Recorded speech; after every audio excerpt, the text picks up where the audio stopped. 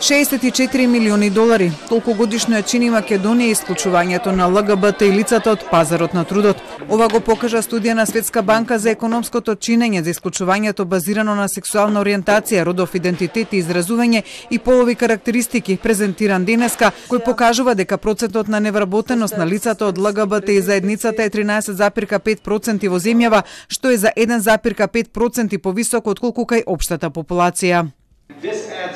дополнително на еден вкупен трошок од 0,5%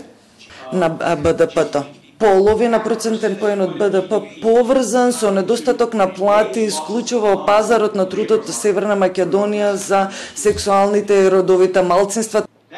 Дополнително на економската загуба, исклучувањето на ЛГБТ и заедницата од пазарот на трудот и кумулирана Македонија и фискална загуба од 17 милиони долари на годишно ниво или 0,13% од БДП. Студијата прва ваква во светот спроведена од Светска банка во која биле вклучени Македонија и Србија покажало дека најголема загуба во платите пријавиле ЛГБТ и мажите и тоа три пати повеќе од жените, додека дискриминација на работно место најмногу пријавиле бисексуалците и интерсекс лицата. Граѓанските организации кои работат на проблематиката на дискриминацијата на маргинализираните групи наведуваат дека многу мал дел од таквите случаи на дискриминација завршуваат со формални постапки за заштита од дискриминација.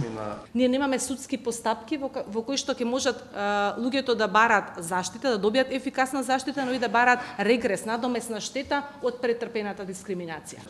Од Министерството за труд и социјална политика информира дека земјава константно работи на подобрување на законската рамка за недискриминација, но велат дека антиродовите движења кои ја зафатија Европа изминативе години стигнале до Македонија. Од почетокот на годината многу се засилени и во Република Северна Македонија, граѓански организации формирани а, само за таа цел, а, за да бидат гласни и да споделуваат а, хистерични постови за ЛГБТ и заедницата за родовиот идентитет. Студијата инаку нуди мерки за надминување на дискриминацијата и исклучувањето на ЛГБТ и заедницата од пазарот на трудот, при што се укажува дека и покрај значајниот напредок што е направен, потребна е уште работа за да се обезбеди дека недискриминацијата ќе стане реалноста за ЛГБТ и популацијата во земјава.